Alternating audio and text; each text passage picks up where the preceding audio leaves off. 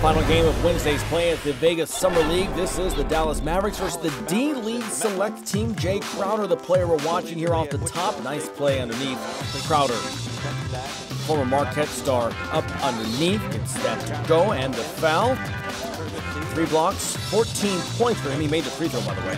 Uh, Gal Mekel hits the jumper here. Seven points, nine assists, but also uh, six turnovers. Second quarter now. Steph Hannah drives, gets it to Dominique Sutton for the big throwdown. His only field goal of the game, by the way. Dallas up by three at this point. More Hannah, half-court lob to Elijah Millsap. He can't finish, but Zach Andrews can. Still a three-point game, 33 to 30. We go to the second half now. Josh Akognon for three. 20 points for him to lead all scorers. 42-36. Mavs on top. More from Hannah. Drives inside. Nice move. Trying to catch some eyes' attention this summer. Move on to the fourth quarter. Dewayne Dedmon gets underneath. Nice patience. Big throwdown. One point lead for the D League.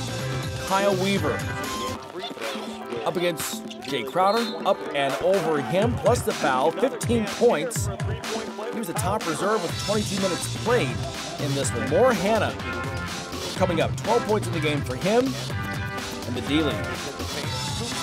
Wins this one going away 82-75. Elijah Millsap, by the way, scoring 10 of his 12 points at the free throw line in the D League win.